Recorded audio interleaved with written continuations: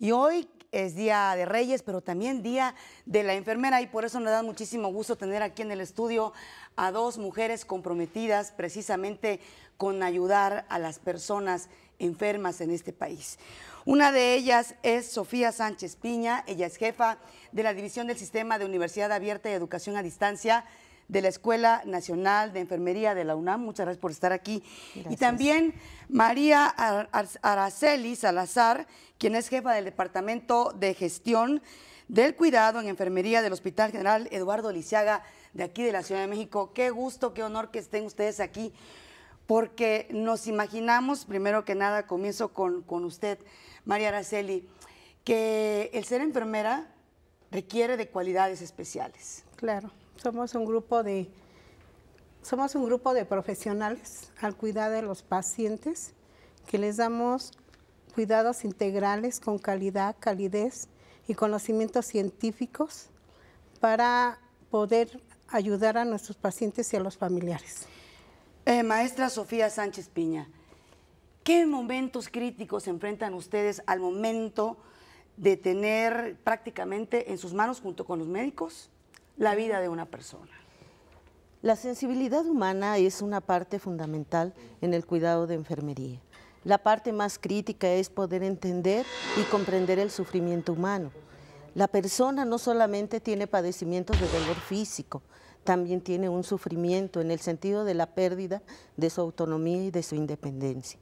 De manera conjunta en los servicios de salud creo que hacemos un trabajo importante en esa comprensión, en ese acompañamiento, en ese cuidado del otro, con esa sensibilidad que nos da el hecho de tener una disciplina humanística, que va incluso más allá de los procedimientos, del ejecutar la atención a través de suministro de medicamentos o del manejo de algunas terapéuticas.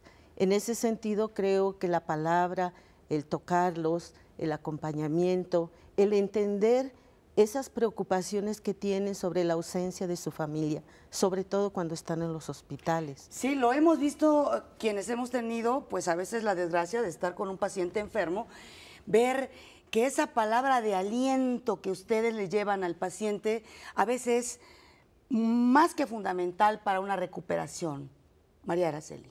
Sí, eh, en realidad somos un grupo que nos enfocamos al cuidado del paciente en un sentido holístico, que visualizamos desde su enfermedad, su patología, su, creencia, su educación, este, eh, su enfoque en cuanto a su religión.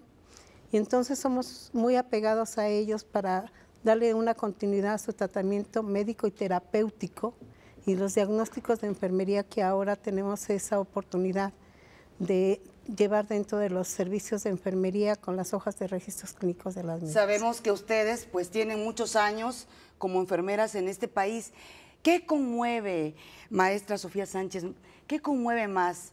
¿Atender a un niño, a un anciano? qué les conmueve más? En realidad todas las personas tienen un nivel de vulnerabilidad, pero sin duda que una mayor parte es los niños.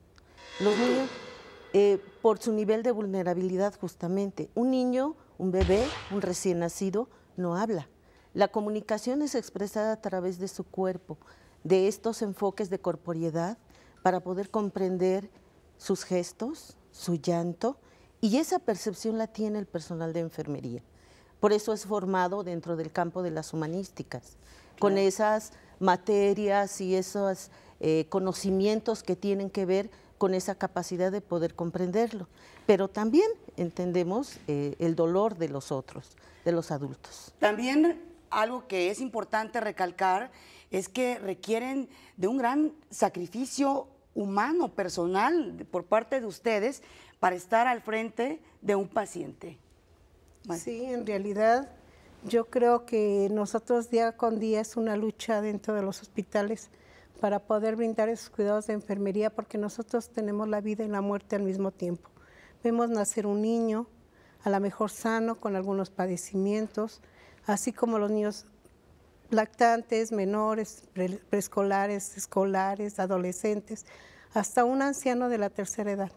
realmente el convivir, compartir, el tener las experiencias que uno vive con ellos y el poder brindarles ese apoyo, porque ellos dependen prácticamente de la atención que se brinda dentro de los hospitales para que en su momento se puedan reincorporar a la sociedad.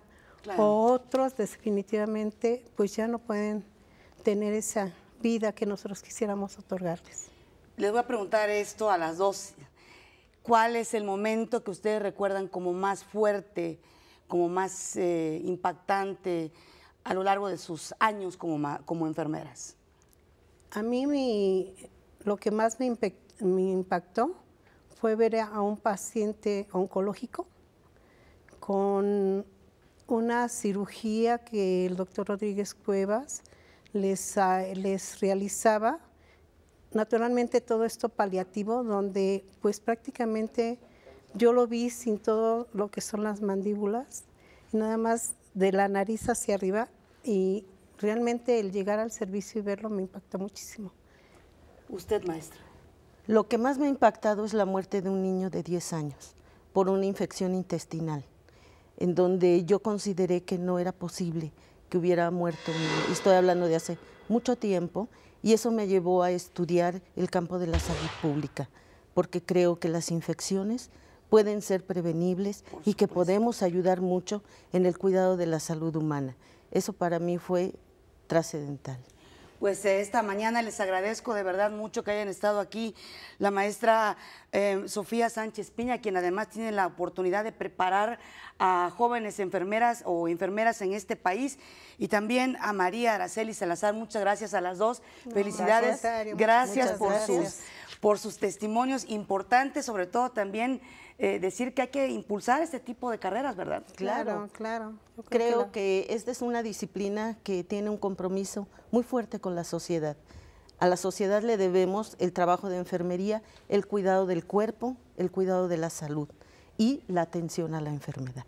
Sí, y yo creo que es importante este, responder a, esta, a este sistema de salud, que desafortunado afortunadamente tenemos una demanda muy grande de pacientes dentro de los hospitales, pero que nos permiten a la fecha proporcionarles una atención adecuada y rehabilitarlos para poderlos integrar a la sociedad. Perfecto, muy bien, muchas gracias a las dos por haber estado aquí.